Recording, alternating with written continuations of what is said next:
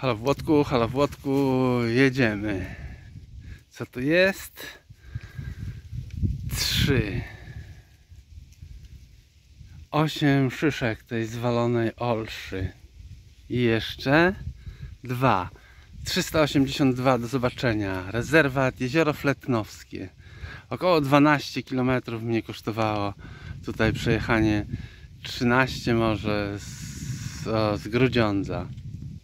No ale te koszty wynagrodzone stokrotnie.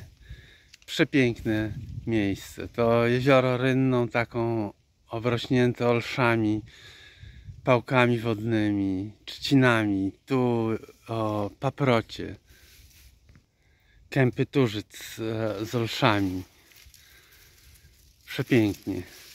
Woda wydaje się płytka, ale nie radziłbym próbować tego sprawdzania tej głębokości, bo widać, że to jest głęboko zamulone.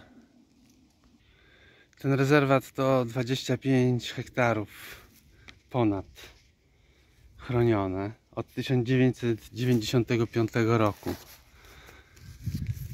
Ja jestem na północnym skraju tego jeziora, ale ta rynna ma około no półtora kilometra.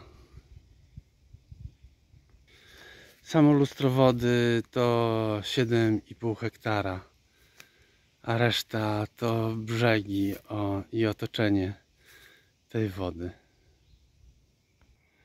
No, zachwycająca jest ta roślinność dookoła tego jeziora. Te paprocie i te pałki i te olsze pięknie wszystko dekorują.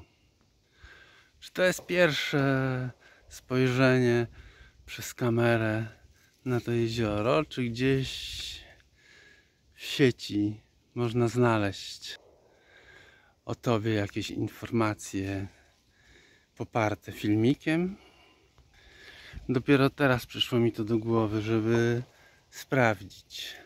A może po powrocie a z południowego zachodu dochodzą strzały, no bo to sąsiaduje z jakimiś terenami wojskowymi i jakieś strzelanie.